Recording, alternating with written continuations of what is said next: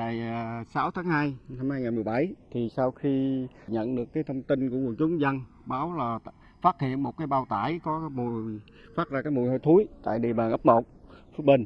Thì sau khi nhận được thông tin thì tôi cùng các đồng chí trong à, lực lượng công an xã triển khai chạy xuống cấp tốc xuống hiện trường. Sau khi kiểm tra thì chúng tôi ờ, phát hiện trong cái bao tải có một cái xác nữ giới. Trong thời kỳ phân hủy thì tôi kịp thời báo cáo về ngay lãnh đạo công an huyện. Sau đó thì tổ chức cho anh em trực, cũng như là bảo vệ hiện trường, chờ công an huyện xuống làm việc.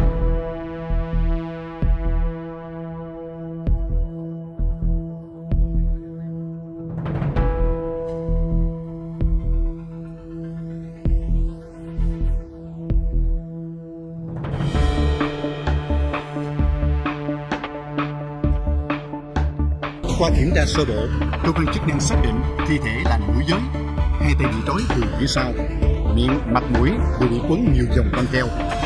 Nạn nhân trong tình trạng không mặc quần áo, chưa rõ tên tuổi và địa chỉ.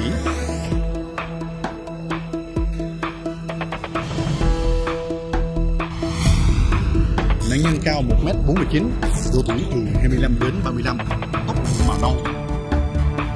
Tay phải đeo một chiếc vòng tay bằng kim loại màu trắng, hình tròn, Đặc biệt, phía sau dây cải có xăm hình hoa hồng màu đỏ, lá màu xanh. Hiện trường có xác có khả năng không phải là hiện trường chính. Nạn nhân bị giết ở nơi khác như phòng trọ, nơi hành nghề, nơi buôn bán. Sau đó đối tượng cho nạn nhân vào bao tải, đem đi nơi khác để phi tang. Nhiều khả năng hướng di chuyển từ quốc lộ năm đi chào.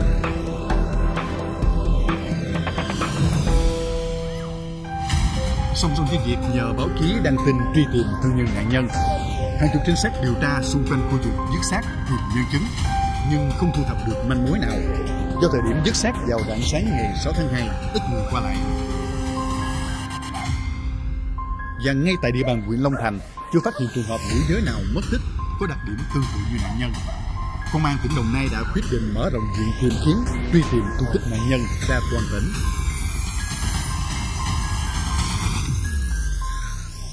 Sau khi khám nghiệm hiện trường và cái khám nghiệm tử thi thì chúng tôi có cái hướng nhận định.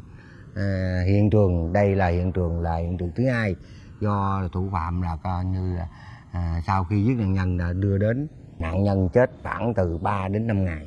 À, à, đã bị thối rửa à, với những vết thương do một loại hung khí là à, vật sắc nhọn một mặt cắt. Đối tượng đã dùng à, đâm. Căn cứ và nhận dạng của của của nạn nhân. Chúng tôi có thể xác định rằng nạn nhân có khả năng làm nghề là phục vụ trong vũ trường hoặc quán bar. Thứ hai là ở các quán bia ôm. Thứ ba, quán cà phê đèn mờ và thứ tư không loại trừ khả năng nạn nhân có khả năng là gái bán dâm. Mà ở địa bàn đồng nai thì trong xung quanh khu vực đó là gồm có xã phước bình, xã phước thái ờ, xã phước ờ, xã long phước và xã tân hiệp. Thì không có là các cái quán bar vũ trường cũng như không có quán karaoke và cà phê ôm cũng như ít xuất hiện cái mại dâm Vậy cô gái bị giết là ai? Khu vực huyện Long Thành mấy hôm trước khi phát hiện ra xác chết, trời mưa to, độ ẩm và lượng mưa lớn trong mấy ngày đã khiến cho cái xác phân hủy nhanh.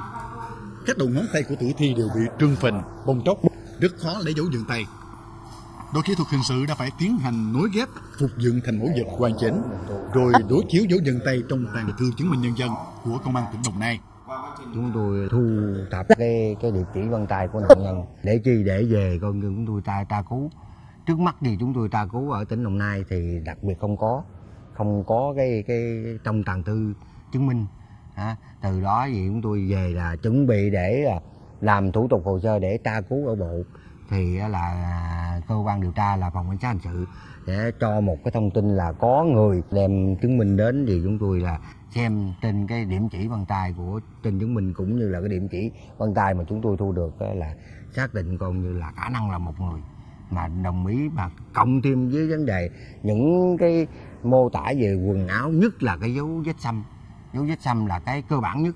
Là gia đình chỉ là đúng này kia là là của à, nạn nhân đó ngay sau khi có kết luận của phòng kỹ thuật hình sự công an tỉnh Đồng Nai và các tài liệu liên quan xác định đây là vụ trọng án đặc biệt nghiêm trọng Giám đốc Công an tỉnh Đồng Nai đã quyết định thành lập ban chuyên án, chỉ đạo lực lượng hình sự phối hợp với các đơn vị nghiệp vụ điều tra làm rõ nhằm trấn an dư luận. Nạn nhân tên Trần Thị Thanh Hoàng, sinh năm 1983, hộ khẩu thường trú huyện Củ Chi, thành phố Hồ Chí Minh. Nạn nhân bị hung thủ tấn công từ phía sau bằng một vật cứng, vùng cổ bị cắt bằng một vật sắc nhọn và có dấu hiệu ngạt cơ học. Thời gian nạn nhân tử vong khoảng 3 tới 5 ngày trước khi phát hiện. Người nhà nạn nhân cho biết trước khi chết, nạn nhân làm nhân viên ở một quán cà phê ở xã Mỹ Xuân, huyện Tân Tràm, tỉnh Bà Rịa Vũng Tàu. Vào ngày 31 tháng 1 năm 2017, tức mùng 4 Tết âm lịch, nạn nhân xin nghỉ và hẹn hẹn sau sẽ quay lại làm việc. Tuy nhiên tới ngày 16 tháng, nữ nhân viên không trở lại. Khi gọi vào số điện thoại của Hoàng thì không liên lạc được.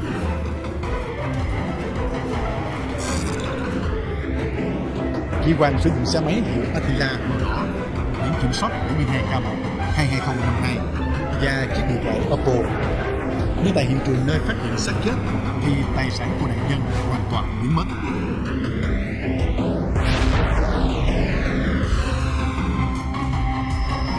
Sau khi họp ban chuyên án, một mặt các điều tra viên tập trung xác minh mối quan hệ của nạn nhân trước khi bị giết. Đặc biệt chú ý đến những đối tượng đi lại với nạn nhân trong ngày 31 tháng 1 và 1 tháng 2 năm 2017. Cơ quan cảnh sát điều tra đặt ra giả thuyết là hung thủ phải là người có quen biết với nạn nhân. Có khả năng do ghen tuông tình ái hoặc nợ nần tiền bạc không trả dẫn đến giết người cướp tài sản. Không loại trừ các nguyên nhân khác. Đối tượng có thể từ một đến hai tên trở lên và có sự am hiểu nhất định về địa bàn. sau khi xác định được là nạn nhân là cái người bán cà phê tại cái tỉnh Bà Rịa, Vũng Tàu, thì ngay trong thời điểm này chúng tôi đã có trao đổi về sự phối hợp với phòng cảnh sát hình sự của công an tỉnh Bà Rịa, Vũng Tàu và công an huyện Tân Thành xác định đây là nhiệm vụ chung và khả năng thủ phạm hiện trường chính là tại địa bàn Bà Rịa, Vũng Tàu do đó công an Bà Rịa Vũng Tàu đã ngay lập tức cử cán bộ có kinh nghiệm phối hợp với chúng tôi rà soát các cái điểm nghi vấn lên danh sách các cái đối tượng nghi vấn mà nạn nhân đã có quan hệ ở địa bàn thành phố Vũng Tàu Tàu căn cứ vào cái mối quan hệ của nạn nhân. Ở đây chúng tôi cũng nói rằng rất là việc sàng lọc, các đối tượng rất là khó khăn phức tạp vì à, nạn nhân là người bán quán cà phê nhưng lại còn là kim luôn cào hành nghề mại dâm cho nên các cái đối tượng mà quan hệ với nạn nhân rất là nhiều nhiều thành phần ờ, nhiều ờ, ờ, đối tượng, nhiều nơi khác nhau. Cho nên là có do do là đặc điểm nghề nghiệp của nạn nhân, cho nên nạn nhân có thể che giấu những cái có những mối quan hệ mà nạn nhân không thể nói cho bạn bè và gia đình biết. Hàng chục trinh sát điều tra viên đã phải xuống các cơ sở để thu thập thông tin, sàng lọc những nam giới có độ tuổi từ 20 đến 50 tuổi, sinh sống trên địa bàn thành phố Vũng Tàu. Thậm chí mở rộng diện tìm kiếm sang cả những vùng lân cận. Song kết quả vẫn không khả quan hơn. Hoàn toàn chẳng có lấy bất cứ một thông tin nào hé lộ về đặc điểm nhận dạng đối tượng. Ngay cả khi trích xuất hình ảnh camera an ninh của các tuyến đường, nhà dân bên đường chứng cứ hình ảnh, lưu thường ngày nạn nhân mất tích, tuy nhiên cũng không có gì khả quan.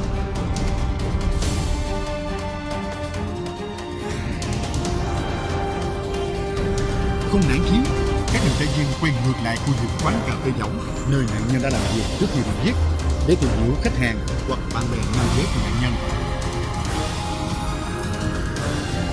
Một thông tin quý giá được hé mở. Chủ quán cà phê và người bạn của nạn nhân nói rằng trước thời điểm mất tích bí ẩn, Hoàng đã đăng hình ảnh với bạn trai khi đi chơi ở bãi biển Vũng Tàu. Từ đầu mối này, lập tức một tổ điều tra xuống Vũng Tàu tập trung xác minh.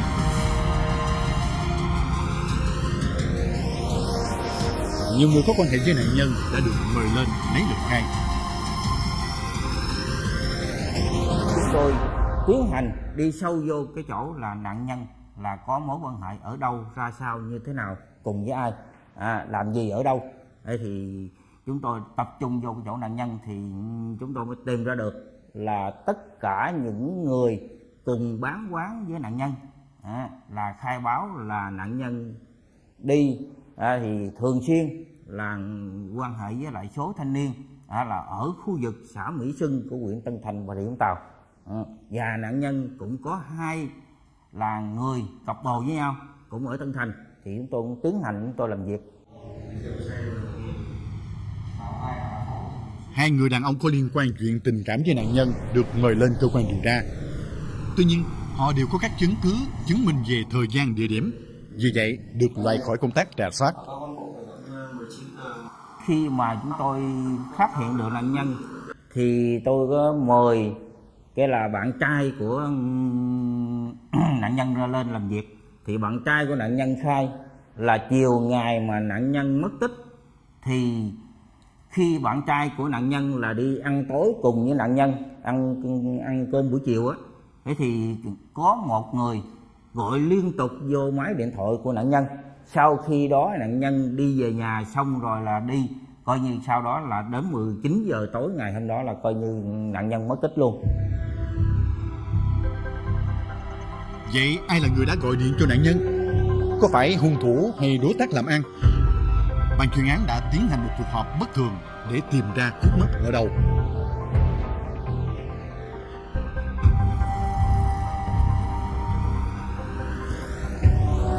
Một hướng điều tra khác mà ban chuyên án thường quan tâm là soát các đường cầm đồ, mua bán điện thoại, xe máy cũ trong thành phố Vũng Tàu và địa bàn huyện Long Thành, tỉnh Đồng Nai nhằm truy tìm tan vật là chiếc điện thoại Oppo và xe máy Attila màu đỏ. Bởi vì nếu tìm ra tan vật, có thể truy ngược ra được đối tượng hung thủ của vụ án.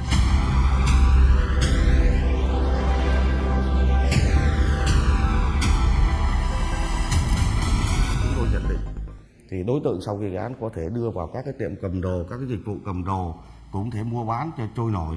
Và có thể cầm cố ở các nơi khác để có thể là là tiêu thụ. Thì từ đó chúng tôi à, tập trung ra thông báo truy tìm tung tích à, vừa một mặt ra, ra truy tìm truy tìm vật chứng đến tất cả các tiệm cầm đồ đến tất cả các dịch vụ cầm đồ đến các tất cả các nơi mua bán xe cũ và liên hệ các tất cả chính quyền địa phương giả soát lại tất cả các điểm này. Nếu phát hiện ra vật chứng thì thông báo cho cơ quan điều tra ngay. Đây cũng là một trong những Ờ, công tác mà gặp rất nhiều khó khăn vì hiện tại các dịch vụ cầm đồ trong khu vực rất nhiều tư nhân ờ, cùng có giấy phép cũng có mà có loại không có giấy phép cũng có Những thông tin mà trinh sát đưa về lại không tìm thấy vật chứng của vụ án. Có khả năng hung thủ đang cầm hoặc tẩu tán ở địa bàn khác. Tuy nhiên, khi trinh sát xác minh tại huyện Tân Thành thì có xuất hiện dấu hiệu khả nghi tiếp tục mở rộng điều tra thì xác định là tại cái quán, là tiệm cầm đồ Việt, do chủ tiệm là Vương Tuấn Thủy, ở khu phố Tân Ngọc của xã thị trấn Phong, Mỹ, huyện Tân Thành. Có một nguồn tin là có một người đem xe hiệu Atela màu đỏ đến cầm cố tại cái tiệm cầm đồ đó. Trước cơ quan điều tra thì chủ tiệm Vương Tân Thủy không có thừa nhận là có cầm một chiếc xe của một thanh niên à, có ghi chứng số chứng minh nhân dân và số điện thoại Đúng như nhận định, chỉ trong thời gian ngắn, điều tra viên xác định danh tính đối tượng khả nghi tên là Quỳnh Ngọc Phương, sinh năm 1985, ngụ ấp Phú Thạnh, xã Mỹ Xuân, huyện Tân Thành, tỉnh Bà Rịa Vũng Tàu. Đặc biệt, Phương vốn là đối tượng cờ bạc, thường xuyên là khách quen của các quán cà phê đèn mờ. Hiện tại đang làm việc tại khu công nghiệp Mỹ Xuân, huyện Tân Thành.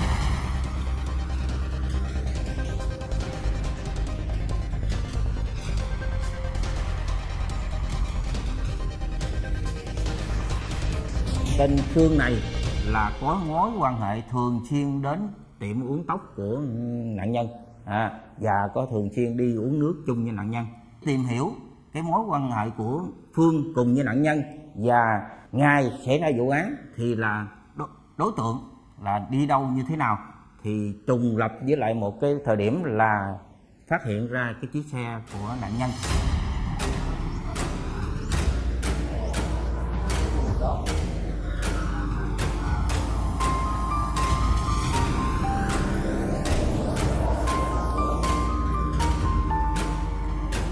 Cơ quan cảnh sát điều tra đã có trong tay đầy đủ chứng cứ khẳng định Phương là nghi can số 1 nên tổ công tác xác định cần phải truy bắt nhanh nếu không, hắn sẽ hướng sang địa phương khác hoặc vượt biên.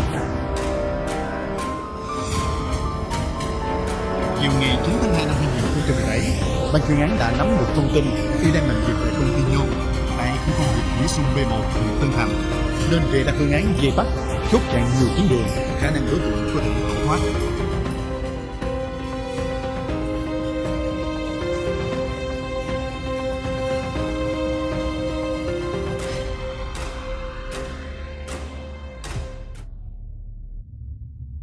Đó là tôi cử cho hai tổ trinh sát vô phối hợp cùng với trong công ty là giả làm công nhân. Còn tổ là vô trong đó để giám sát tình phương là ở trong công ty. Còn tổ thứ hai là giám sát bên ngoài công ty, là sợ là tên phương lẫn trốn ra.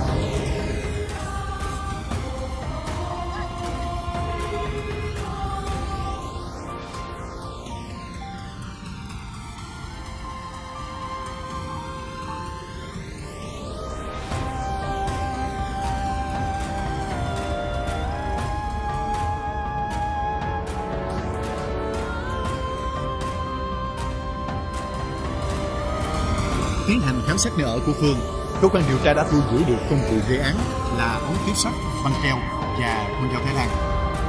Qua quá trình đấu tranh, bước đầu Phương khai nhận mình là người đã giết chị Hoàng rồi dứt xác phi tang.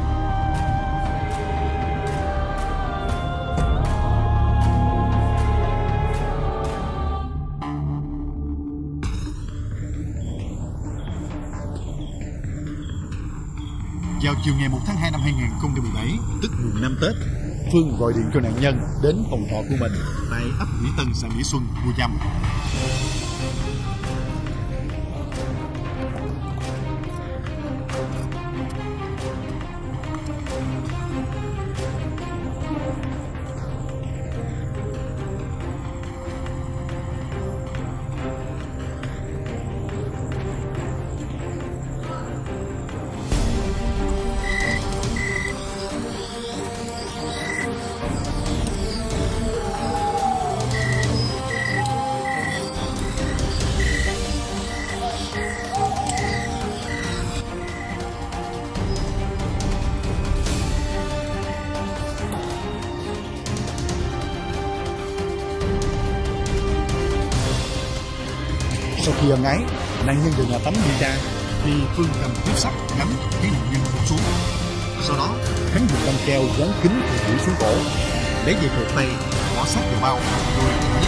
Sang Bình huyện Long Thành tỉnh Đồng Nai, cách hiện trường khoảng 7 km để phi tang.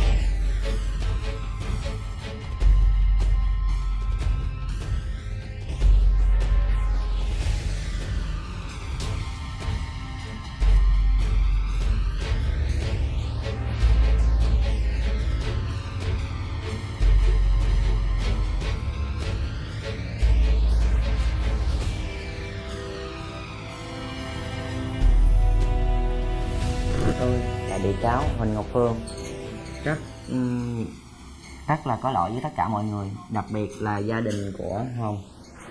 Tôi rất mong các người thân trong gia đình tôi và mẹ của Hồng và gia đình của Hồng và bạn bè anh em dòng họ của hai bên tha lỗi lầm của tôi đã gây ra vụ sát hại nạn nhân Hoàng. Cái bài học mà để cho mọi người lưu ý tới là có thể rằng chị Hoàng này nói với gia đình là sẽ đi làm ăn xa, làm ăn đàng hoàng.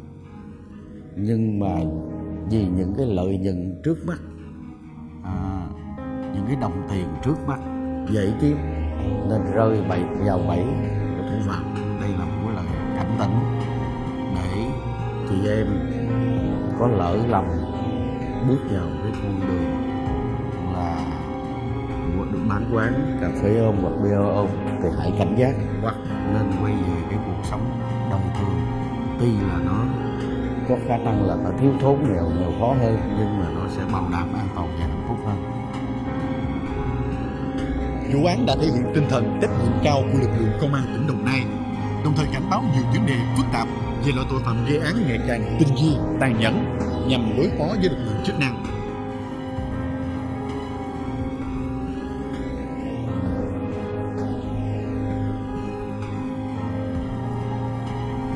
Sự xuống cấp của những người trẻ tuổi chỉ vì chút lợi ích vật chất mà hủy hoại cả tương lai cuộc đời mình và làm liên lụy đến nhiều người khác.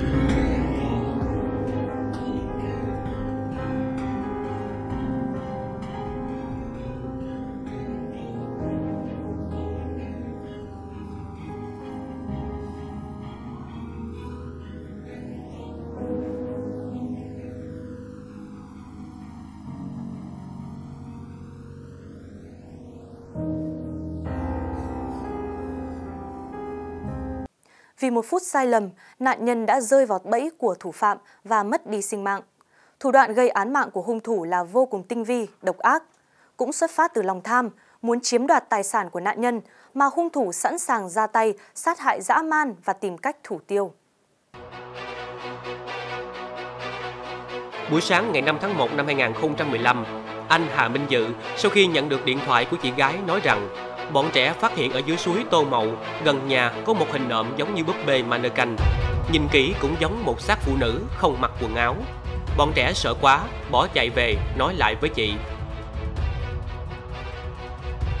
Anh Hà Minh Dự đi làm nương gần đó, đang trên đường về. Nghe thấy chị nói vậy, lập tức ghé vào con suối để xem thực hư ra sao.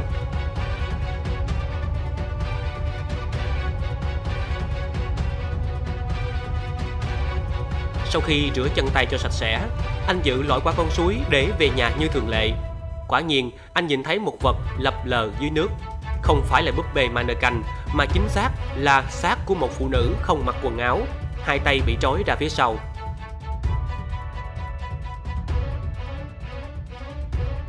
Bà chị gái là phát hiện là ở suối kia và là không biết ờ, cậu xuống xem ai ở uh, gọi là người hay búp bê đấy còn cãi nhau búp bê cơ nhưng không tin.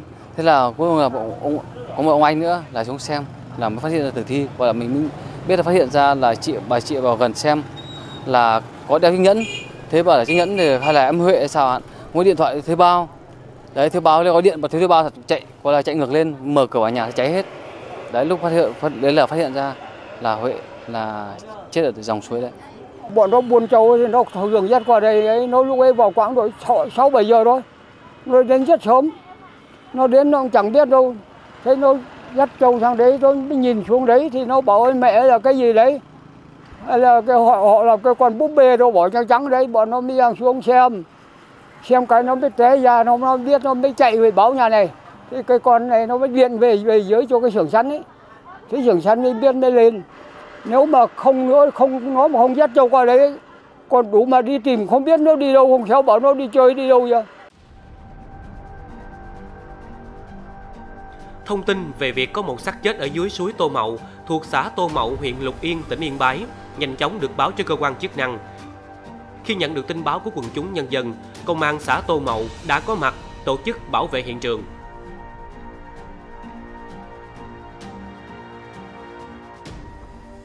Thì sau khi nhận được tin báo thì ờ, có tính chất là đặc biệt nghiêm trọng. Tôi có điện chỉ đạo luôn đồng chí ờ, Nguyễn Văn Thành, công an viên ở ngay khu vực đó đến kiểm tra hiện trường để xác minh ngay. Đồng thời là tôi cũng uh, theo cái địa chỉ tin báo tôi cũng lấy xe là về cái hiện trường.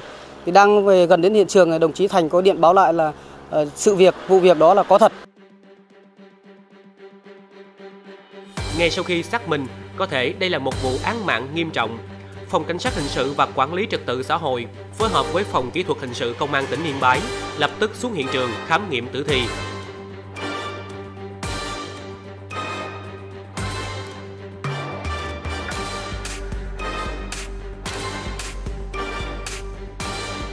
Nạn nhân nhanh chóng được hàng xóm và người thân xác nhận chính là chị Nguyễn Thị Thu Hường, tên thường gọi là Huệ, sinh năm 1983, có hộ khẩu thường trú tại tổ 36, phường Nguyễn Thái Học, thành phố Yên Bái, tỉnh Yên Bái. Là người làm nghề thu mua sắn tươi và thuê trọ tại nhà của anh Hà Minh Dự ở thôn 8, xã Khánh Hòa, huyện Lục Yên, tỉnh Yên Bái. Vị trí phát hiện xác của chị Hường tại khúc suối sâu thuộc địa bàn giáp ranh xã Tô Mậu và xã Khánh Hòa, huyện Lục Yên, tỉnh Yên Bái. Xác của chị Hường được vớt lên trong tình trạng chỉ mặc đồ lót, hai tay bị trói ra phía sau bằng chính chiếc áo dài và quần dài mà chị thường ngày hay mặc.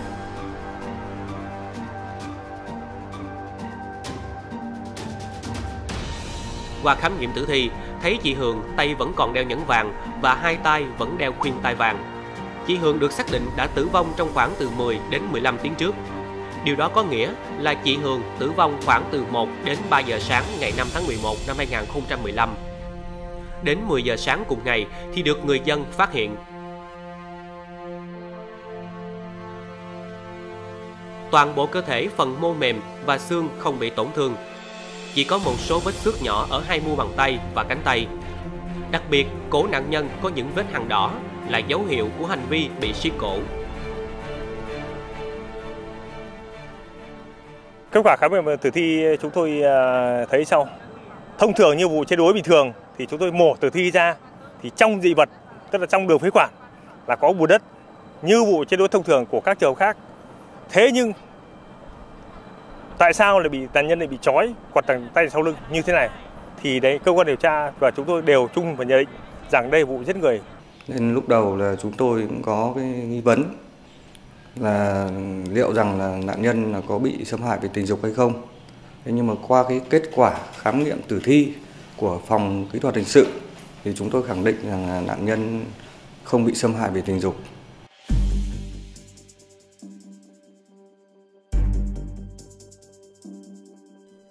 Với những kết quả thu được sau khi khám nghiệm tử thi, cơ quan điều tra đã đưa ra kết luận sơ bộ nạn nhân bị chết do ngạt nước.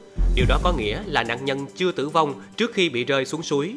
Nạn nhân chết trong tình trạng chỉ mặc đồ lót trên người nhưng không có dấu hiệu bị xâm hại tình dục. Hiện trường xung quanh, cơ quan điều tra phát hiện dấu vết của những giọt máu và một sợi dây chuyền màu bạc.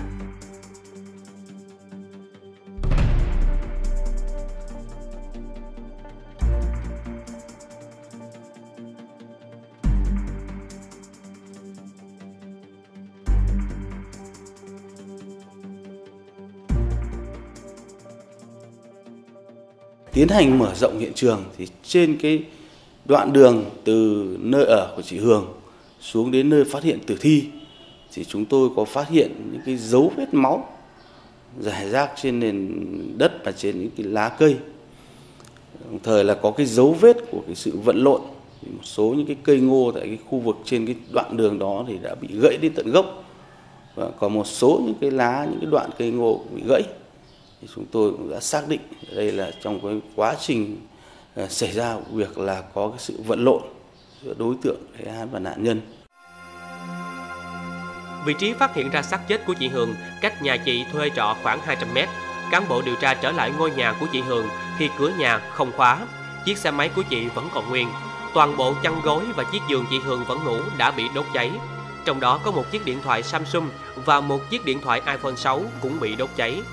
Từ những kết quả thu thập được qua khám nghiệm tử thi, khám nghiệm hiện trường, cơ quan điều tra tiết lộ đây là một vụ án nghiêm trọng.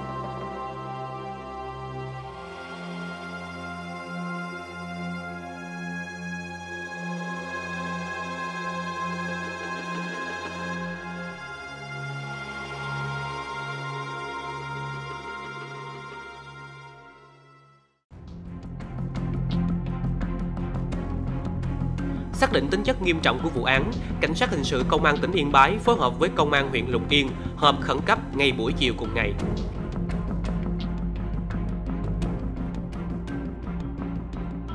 Vấn đề khó khăn trong việc truy tìm hung thủ chính là tìm ra động cơ gây án của hung thủ. Giết người cướp của, giết người vì tình hay giết người vì mâu thuẫn cá nhân. Phải tìm ra được động cơ gây án thì mới thu hẹp được diện đối tượng tình nghi. Nếu động cơ là giết người cướp của thì tại sao hai chiếc nhẫn vàng chiếc xe máy vẫn còn nguyên? Ngoài ra còn có hai chiếc điện thoại rất có giá trị, hung thủ cũng không lấy đi mà lại đốt cháy. Không thể loại bỏ động cơ giết người cướp của, nhưng những tình tiết trên cho thấy hung thủ giết người vì động cơ cướp của khó có khả năng xảy ra. Chị Hương mặc dù chết trong tình trạng chỉ mặc đồ lót nhưng không có dấu hiệu bị xâm hại tình dục thì có thể loại bỏ động cơ hiếp dâm, giết người, phi tang. Như vậy chỉ còn hai động cơ là mâu thuẫn tình ái và mâu thuẫn cá nhân trong việc làm ăn. Vì vậy, đội trọng án ưu tiên điều tra khoanh vùng các đối tượng có quan hệ tình ái và quan hệ làm ăn với nạn nhân.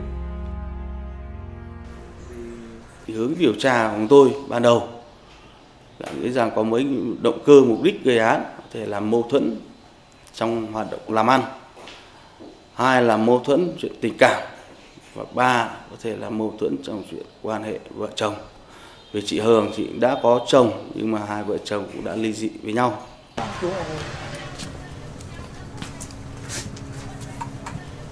Qua xác minh các mối làm ăn với chị Hường thì được biết, chị Hường là người làm ăn có uy tín, sòng phẳng trong chuyện tiền bạc và không có mâu thuẫn với ai. Chị Hường không có nhiều người thân thích, chỉ có chồng và hai con gái nhưng hai người đã ly hôn. Hai con gái chị gửi cho người chị ở Vĩnh Phúc nuôi dưỡng. Chị thu mua sắn tươi và sống một mình ở nơi thuê trọ. Do vậy, người dân ở đây biết rất ít thông tin về thân nhân của chị Hường. mối hệ chỉ biết làm ăn thôi đấy còn nhiều cái trong ờ, cuộc sống ấy thì huệ sống với ai mình không biết được phải không trong, trong ai đấy thôi nhưng mà mình ấy thì còn có gia đình mình xong mình cứ gia đình mình vẫn về gia đình mình phải không đấy chứ còn uh, nhiều cái xảy ra mình không biết gì cả Chị Hương và chồng mâu thuẫn mà dẫn tới ly hôn. Chị Hương vì thế bỏ đến đây thuê trọ sống một mình. Đây là lý do mà cơ quan điều tra không loại trừ khả năng chồng chị Hương có liên quan đến vụ án này. Vì vậy, chồng chị Hương cũng bị đưa vào diện tình nghi. tiến hành xác minh về chỗ quan hệ mâu thuẫn trong quan hệ với người chồng cũ thì vào cái thời điểm xảy ra vụ án ấy, thì chỗ anh chồng cũ của chị là không ở nhà. Tuy nhiên tiến hành các hoạt động điều tra tôi xác định là vào cái thời điểm xảy ra vụ án thì chồng chị Hương chồng cũ của chị Hương thì đang có mặt ở trên huyện Thanh Thủy của tỉnh Hà Giang. Vì vậy là căn cứ vào kết quả xác minh thì chúng tôi loại chỗ chồng chị Hương ra khỏi diện nghi vấn. Các quan hệ của chị Hương với những mối làm ăn khác đều đã được xác minh, không có dấu hiệu khả nghi. Chỉ có vào cái đường này, vào đường này, đường này gần đường. Vì vụ án này xảy ra vào ban đêm, ngôi nhà của chị Hương lại nằm ngay sát mặt đường tỉnh lộ. Tuy ban đêm nhưng thỉnh thoảng vẫn có người qua lại. Rất có thể có người nào đó vô tình là nhân chứng khi tham gia giao thông qua đoạn đường trong thời điểm xảy ra vụ án.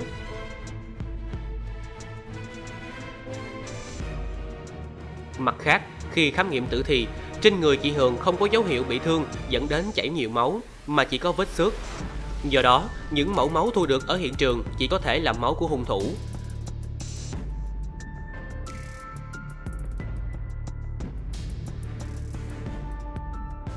Cơ thể bị thương khi vật lộn, quần áo của hung thủ nhất định sẽ vấy bẩn với bùn đất, cục vết máu.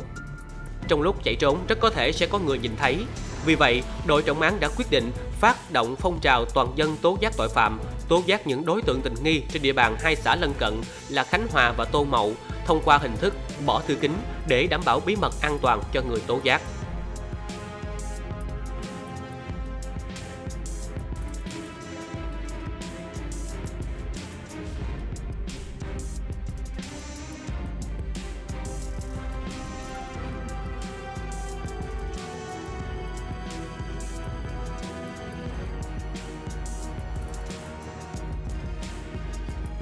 Sau khi phát động vài ngày, bà con đã đến trụ sở công an xã để bỏ thư. Vì đặc thù đây là khu vực miền núi, người dân sinh sống rải rác, đường xá đi lại khó khăn. Vì thế cơ quan điều tra cũng chỉ nhận được một số ít thư của bà con ở gần địa bàn cũ.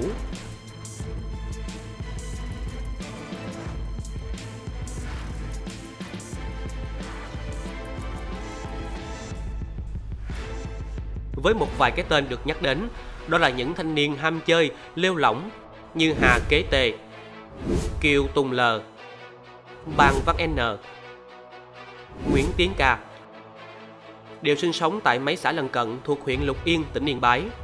Các đối tượng trên đều được các điều tra viên đưa vào diện theo dõi. Tô Mậu và Khánh Hòa là hai xã miền núi, có nhiều đồng bào dân tộc sinh sống rải rác. Vì thế, việc đi lại nắm tình hình, truy tìm tung tích hung thủ gặp rất nhiều khó khăn. Tuy nhiên, các điều tra viên đi đến đâu cũng được sự giúp đỡ nhiệt tình của bà con nhân dân. Một thông tin vô cùng quý giá được bà con cung cấp, đó là sau khi vụ án xảy ra một ngày, họ thấy Hà Kế Toại ở xã Tô Mậu vào đêm xảy ra vụ án.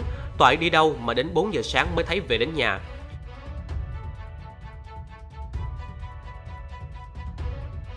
Hà Kế Toại chính là một trong những cái tên được bà con tố giác qua thư tố giác tội phạm. Nhận định rất có thể Hà Kế Toại có liên quan đến vụ án. Để đối tượng tình nghi không có thời gian lẫn trốn, đội điều tra phối hợp với công an xã lập tức triệu tập Hà Kế Toại và một số thanh niên không nghề nghiệp, liều lỏng hay trộm cắp vặt lên Ủy ban Nhân dân để làm việc. Thật bất ngờ trong buổi làm việc với cán bộ điều tra, đối tượng Hà Kế Toại đã khai toàn bộ sự việc liên quan đến cái chết bí ẩn của chị Nguyễn Thị Thu Hường.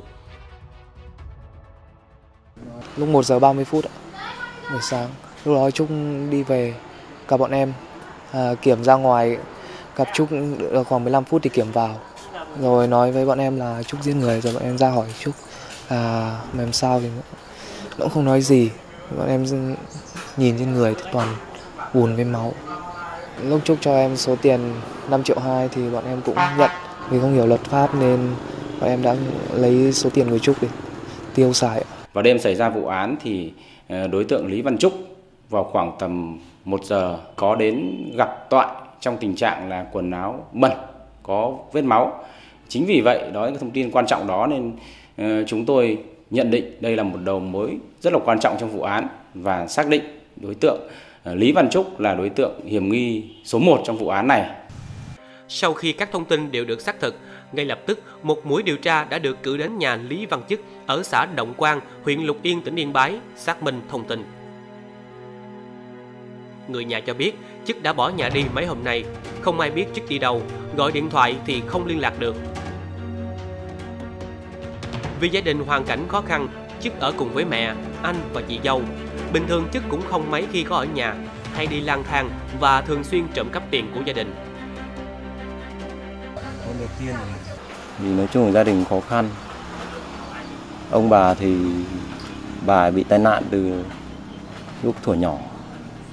Cũng mất sức lao động. Ông thì ông nói chung ông bà một chứ biết gì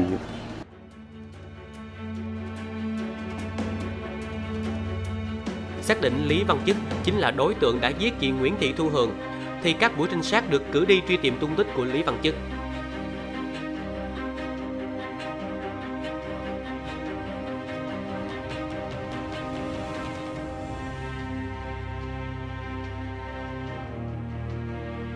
Đến sáng ngày 7 tháng 11 năm 2015, có thông tin Chức sẽ có mặt tại Bệnh viện Đa khoa tỉnh Yên Bái.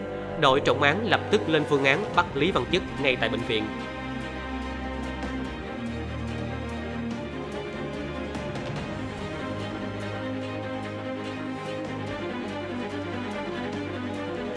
Ngày 7, đối tượng Lý Văn Trúc sẽ về bệnh viện tỉnh Yên Bái.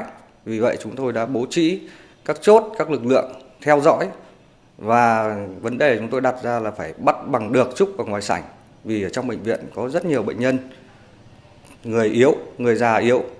Vì vậy là phải bắt bằng được Trúc ở ngoài cổng bệnh viện không như khi mà để cho Trúc mà vào đến bên trong bệnh viện thì sẽ rất là nguy hiểm.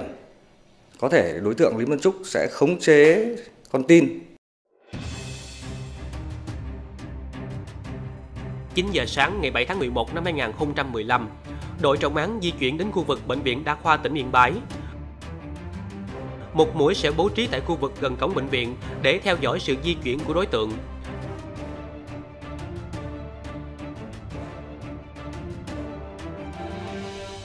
Mũi còn lại sẽ đón lỏng khu vực bên trong cổng bệnh viện.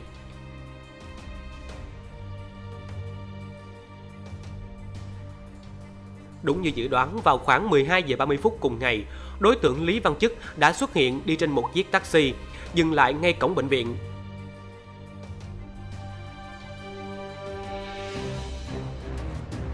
Các trinh sát được lệnh không bắt đối tượng ở ngoài đường, vì nếu xảy ra sơ suất, đối tượng sẽ dễ bề tẩu thoát. Đợi đối tượng di chuyển vào phía trong cổng bệnh viện, vị trí này có một khoảng trống rất dễ ra tay. Đúng như dự đoán, khi đối tượng di chuyển qua cổng bệnh viện vào bên trong đến khu vực trước cửa phòng khám thì phát hiện mình bị theo dõi. Lý Văn Chức định chạy trốn nhưng ngay lập tức hắn đã bị bắt ngay sau đó.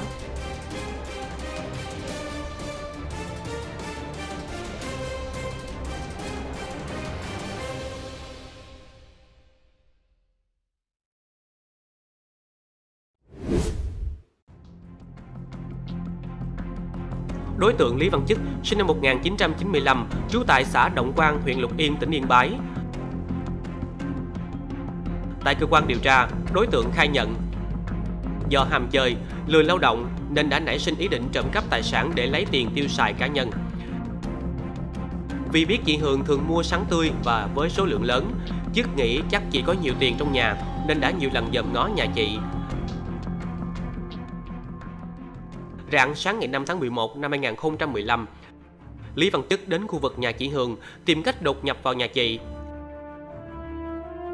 Và lúc đấy, cửa nhà chị Hường bỗng nhiên mở, chị Hường ra ngoài đi vệ sinh.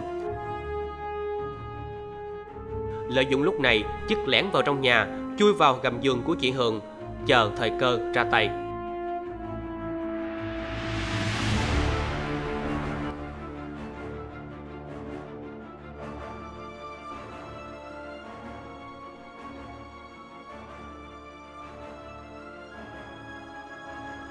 Khi chị Hường vào trong ngủ tiếp, Chức bắt đầu lục lọi.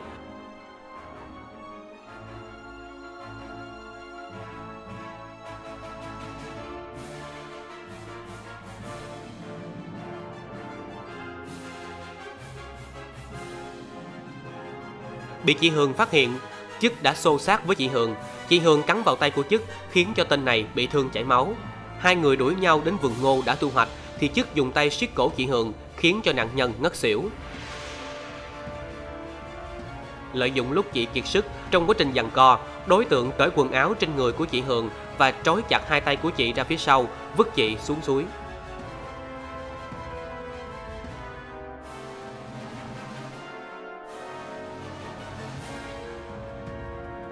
Chức quay trở lại ngôi nhà, lục lấy số tiền 25 triệu đồng. Hắn không lấy xe máy, điện thoại vì dễ bị lộ và cũng để đánh lạc hướng điều tra của cơ quan chức năng.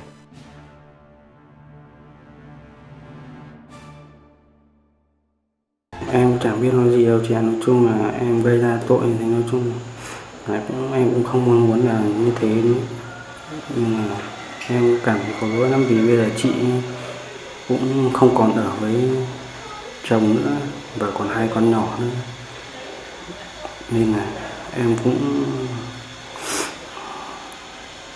không biết nói gì hơn đâu nói chung là em chỉ muốn gửi lời xin lỗi đến gia đình và hai đứa nhỏ thôi chị ạ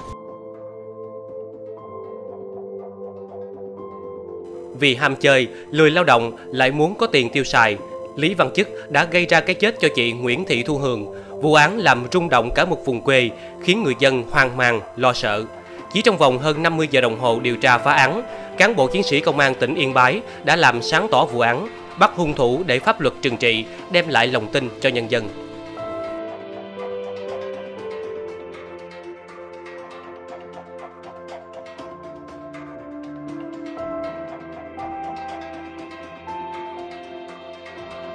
Giết người thì phải định tội. Mới bước vào tuổi 21, cái tuổi đẹp nhất mở ra cánh cửa cuộc đời của mỗi con người. Thế nhưng, Lý Văn Chức đã tự tay đóng cánh cửa ấy lại.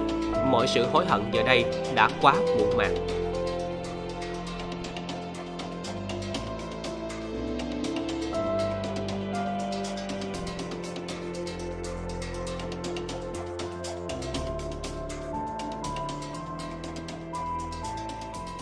em chẳng biết nói gì đâu chị nói chung là em gây ra tội thì nói chung là em cũng không mong muốn là như thế nữa nhưng mà em cảm thấy có lỗi lắm vì bây giờ chị cũng không còn ở với chồng nữa và còn hai con nhỏ nữa nên là em cũng không biết nói gì hơn đâu nói chung là em chỉ muốn gửi lời xin lỗi đến gia đình và hai đứa nhỏ. Một cô gái nằm sấp, không quần, lộ ngực, ngưng thở cách nhà 500 mét. Cảnh tượng kinh hoàng đã khiến nhiều người không khỏi dùng mình. Công an đã nhanh chóng truy lùng để tìm ra tên sát nhân biến thái.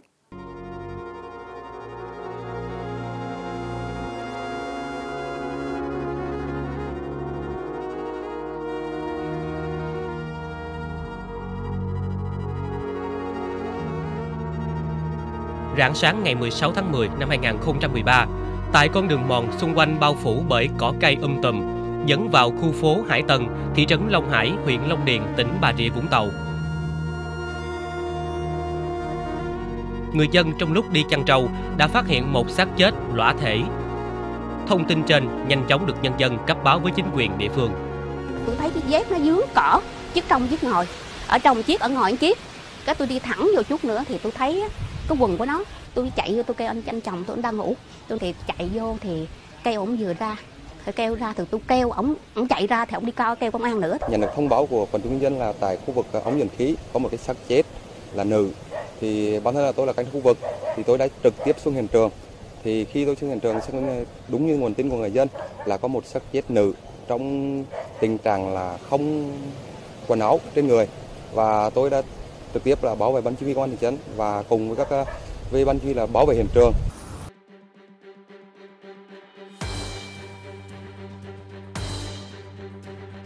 Ngay sau khi nhận được tin báo, cơ quan cảnh sát điều tra công an tỉnh Bà Rịa Vũng Tàu đã kết hợp với Viện Kiểm sát Nhân dân tỉnh và các đơn vị nghiệp vụ nhanh chóng triển khai xuống hiện trường.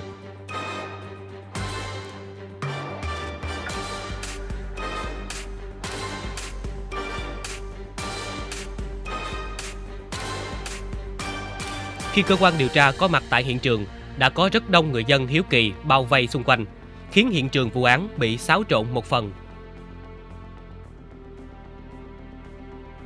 Hiện trường vụ án là đường mòn dẫn vào khu phố Hải Tần. Vào mùa mưa, con đường này bị bao phủ bởi nhiều lớp cây và cỏ um tùm. Tại hiện trường, tử thi nằm sấp, không mặc quần, áo bị kéo quá ngực, toàn thân và đầu tóc nạn nhân dính cát và lá cây khô. Mở rộng khám nghiệm hiện trường, cơ quan điều tra thu giữ một đôi dép, một quần nửa màu xanh, một dao Thái Lan. Kết quả khám nghiệm tử thi cho thấy nạn nhân chết ngạt cơ học do bị bóp cổ kèm chấn thương sọ não, thời gian chết trên một ngày. Tổn thương ngạt cơ học do bị bóp cổ với lực bóp mạnh, tổn thương chấn thương sọ não do vật tác động vào vùng trán, đỉnh và thái dương hai bên. Lúc mà vụ án xảy ra thì à, bà con họ tới đây họ coi rất là đông, họ cũng rất là sợ. Đêm khuya thì họ không dám về con đường này. Tại vì hồi nào tới giờ thì con đường này nó chưa bao giờ xảy ra những cái việc gì hết. Thì từ lúc mà xảy ra vụ án là đêm khuya nói chung tất cả mà mấy đứa con gái là nó đi chơi về là nó không bao giờ nó dám về con đường này. Tất cả các bà, mấy bà chị hoặc là bà trong nhà, gia đình tôi cũng vậy nó đi ngang đây là sợ lắm. Không sợ gì, sợ nhiều khi ám ảnh vậy đó hoang mang, họ sợ, họ không dám về đêm hôm là phải bốn năm người kè nhau về chứ họ không bao giờ dám về một mình vậy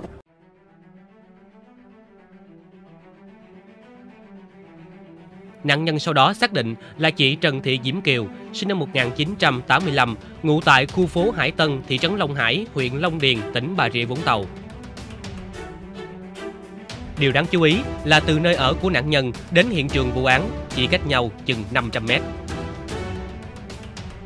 Người nhà nạn nhân cho biết, vào tối ngày 14 tháng 10 năm 2013, chị Kiều dắt chiếc xe máy Yamaha Mio Calasico rời nhà, rồi sau đó mất luôn liên lạc.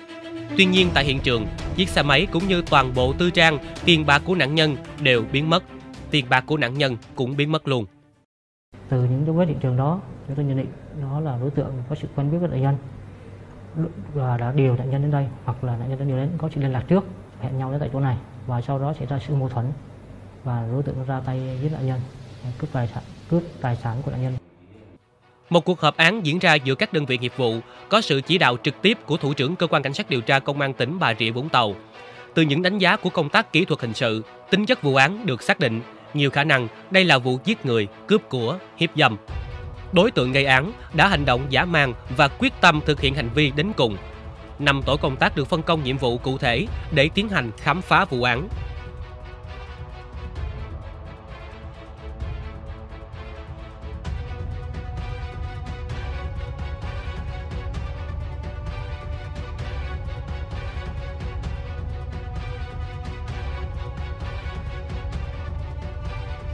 Một tổ công tác được phân công rà soát khu vực hiện trường.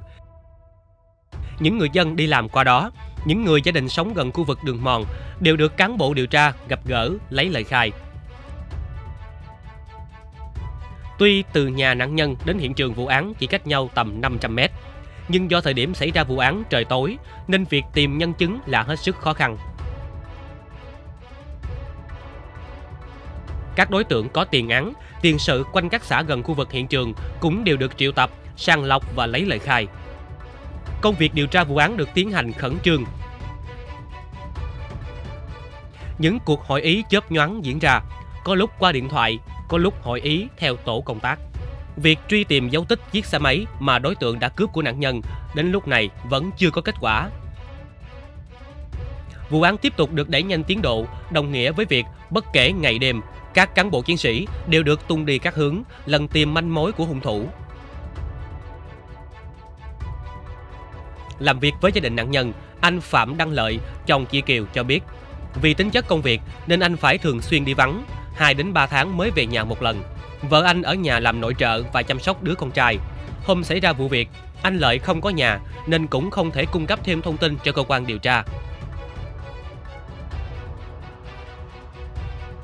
Tuy nhiên, cháu Phạm Đăng Thắng, 7 tuổi, con trai của nạn nhân, lại cung cấp cho cơ quan điều tra một thông tin có giá trị. Đó là vào khoảng 21 giờ 30 phút ngày 14 tháng 10 năm 2013. Sau khi nhận được điện thoại của ai đó, chị Kiều vội vàng dắt xe máy Yamaha Mio Kalashnikov rời nhà. Trước khi đi, chị Kiều có nói với cháu Thắng là ra ngoài lấy tiền, một lát sẽ về. Ít phút sau, vì buồn ngủ, cháu Thắng lên giường ngủ một mạch cho đến sáng hôm sau mà không hay biết suốt đêm hôm đó mẹ không về nhà. Ngày hôm sau không thấy mẹ, cháu Thắng có đến nhà người quen để hỏi nhưng mà không ai thấy và biết chị Kiều đi đâu. Đặc biệt là mối quan hệ ngoài xã hội rất là khó xác minh đối với lực lượng chúng tôi. Là đặc biệt cái mối quan hệ xã hội là đối đối với à, bị nạn nhân á, là đặc biệt là rất nhiều. Ngoài trong khu vực tổ dân cư cũng có rất nhiều và ngoài xã hội nữa rất nhiều. Trong khi việc rà soát quan hệ của nạn nhân và khoanh vùng mâu thuẫn những quan hệ đó đều chưa thu được kết quả nào đáng kể, thì chiếc điện thoại của nạn nhân cũng như chủ nhân của cuộc gọi trước khi nạn nhân rời nhà trở thành hướng điều tra chính của cơ quan điều tra. Sau khi mà kiểm tra các cái số cuộc điện thoại và đã phát hiện ra cái cuộc gọi đó thì của là của một cái cô bé ở gần nhà. Cái máy điện thoại gọi đến là của một cô bé gần nhà. Thì sau khi xác định được cô bé tên là Linh đã kiểm tra tiến hành kiểm tra điện thoại và mời cô làm việc. Tại cơ quan điều tra, Trần Thị Ngọc Linh khai nhận có quen biết chị Kiều vì là hàng xóm. Song một mực phủ nhận có liên lạc với chị Kiều trong đêm 14 tháng 10 năm 2013. Linh cho biết tối hôm đó đi làm về, cơm nước xong xuôi thì đã thấm mệt nên không ra ngoài và cũng không liên lạc với bất kỳ ai mà lên giường ngủ sớm. Về chiếc điện thoại, Linh khai để trong giỏ sách. Cô gái này cũng khẳng định bố mẹ và anh trai có thể minh chứng cho sự vô can của mình.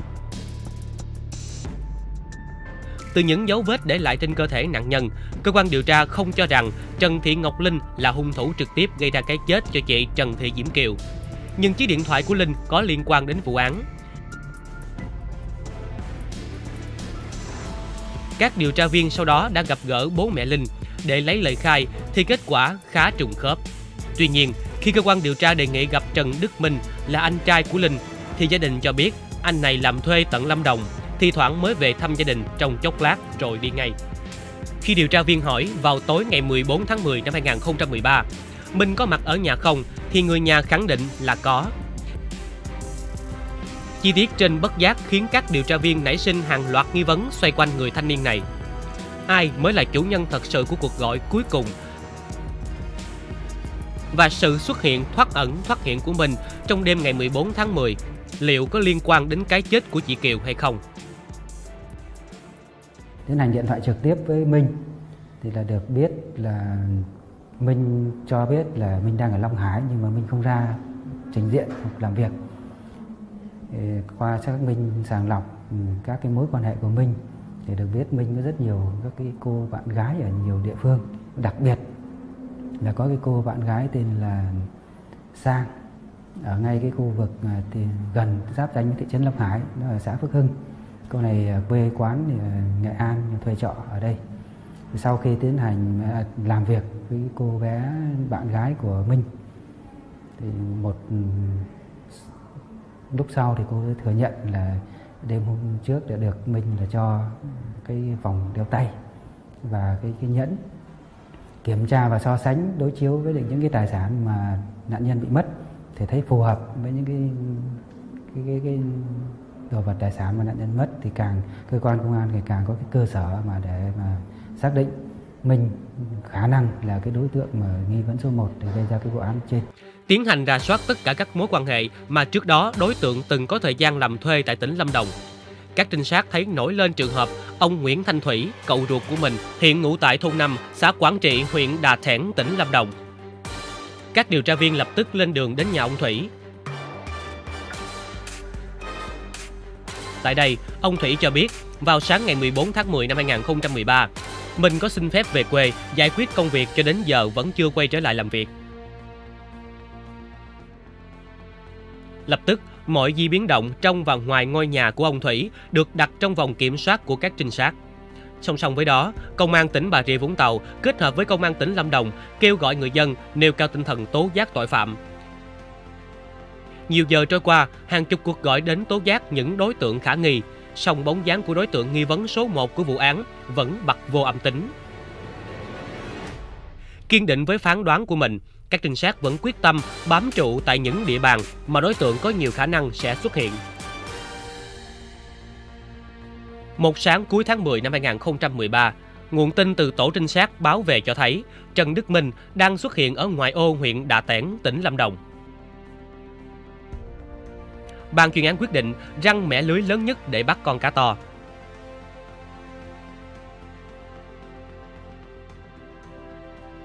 Những trinh sát dày dặn kinh nghiệm nhất được chia thành nhiều mũi bao vây toàn bộ các tuyến đường chính dẫn về huyện Đà Tẻn, tỉnh Lâm Đồng.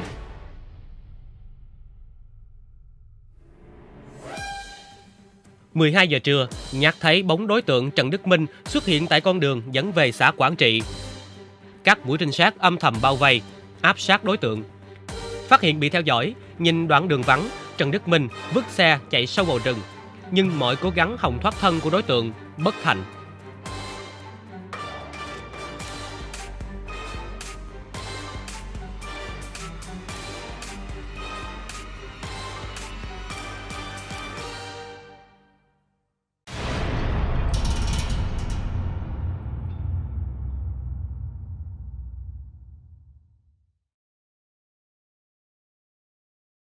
Ngay sau đó, đối tượng Trần Đức Minh được di lý từ Lâm Đồng về công an tỉnh Bà Rịa Vũng Tàu lấy lời khai. Trái với vẻ ngoài hung tợn, thái độ ngoan cố khi bị bắt giữ, đối diện với các câu hỏi của điều tra viên về nguồn gốc những món trang sức mà Minh đã tặng bạn gái trước đó, về di biến động của hắn trong đêm ngày 14 tháng 10 năm 2013, đối tượng đã nhũng như con chi chi. Sau khi mà bắt giữ được Minh thì Minh cũng rất là thành khẩn, khai báo và nhận tội về mình cũng không có cái sự, à, sự quanh co chối tội Trần Đức Minh, sinh năm 1994, ngụ tại số 43 trên 257, ô 4, khu phố Hạ Tân, thị trấn Long Hải, huyện Long Điền, tỉnh Bà Rịa Vũng Tàu. Chị Trần Thị Diễm Kiều là hàng xóm nên có quen biết nhau. Đầu tháng 10 năm 2013, mình có vay của chị Kiều 700.000 đồng. Ngày 11 tháng 10 năm 2013, Minh đến thôn 5, xã Quảng Trị, huyện Đà Thẻn, tỉnh Lâm Đồng làm thuê cho cậu là Nguyễn Thanh Thủy.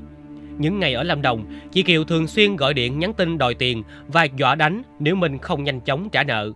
Tức giận vì bị đòi nợ và dọa đánh, vào ngày 14 tháng 10 năm 2013, Minh từ Lâm Đồng về Bà Rịa Vũng Tàu với dự định sẽ đánh chị Kiều một trận cho bỏ tức, nhưng sợ bị trả thù nên nảy sinh ý định giết chị Kiều.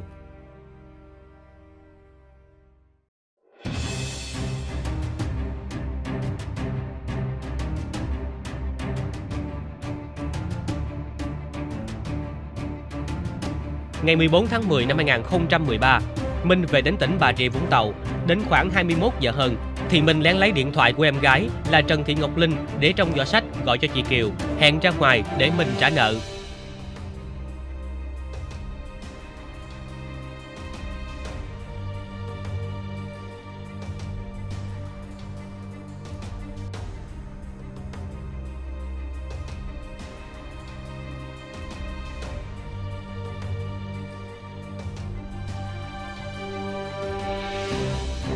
Mình lấy 700.000 đồng đưa trả chị Kiều thì khi chị Kiều quay xe định về, mình mở yên xe, lấy dao khống chế chị Kiều.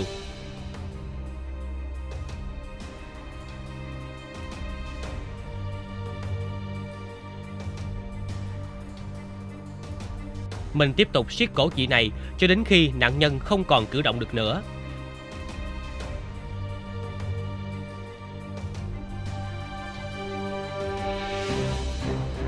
Sau đó, Minh thực hiện hành vi giao cấu với nạn nhân. Tiếp theo, Minh đem xe máy của mình về nhà cất, rồi quay lại tháo hai chiếc nhẫn và một vòng đeo tay của chị Kiều. Tại đây, Minh mở cốp xe của chị Kiều, lấy 2 triệu 300 nghìn đồng ở cốp xe và 700 nghìn đồng Minh vừa trả. Minh lấy tiền rồi trả xe đến phòng trọ của Phạm Thị Sang. Tại đây, Minh lấy hai chiếc nhẫn và vòng đeo tay chiếm đoạt của chị Kiều đem cho Sang.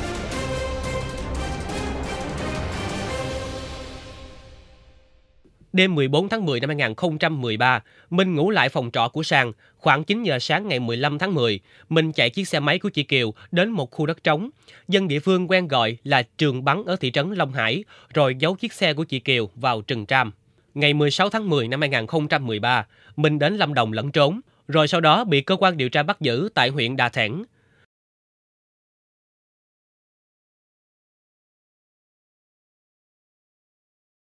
Theo chỉ dẫn của mình, công an tỉnh Bà Rịa Vũng Tàu đã tìm thấy chiếc xe Yamaha Mio Classico của nạn nhân. Phạm Thị Sang đã giao nộp vòng tay và hai chiếc nhẫn lại cơ quan điều tra. Căn cứ các tài liệu và chứng cứ thu thập được, cơ quan cảnh sát điều tra công an tỉnh Bà Rịa Vũng Tàu có đủ cơ sở xác định Trần Đức Minh đã có hành vi phạm vào các tội giết người, cướp tài sản, hiếp dâm quy định tại điều 93 133, 111 Bộ luật hình sự nước Cộng hòa xã hội chủ nghĩa Việt Nam.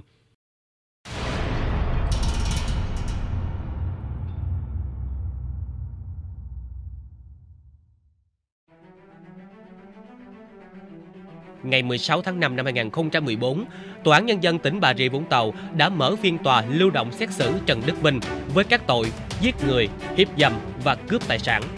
Xét tính chất nghiêm trọng của vụ án, hội đồng xét xử đã tuyên phạt Minh tử hình về tội giết người, 4 năm tù về tội hiếp dâm và 5 năm tù về tội cướp tài sản. Tổng hình phạt đối với Minh là tử hình.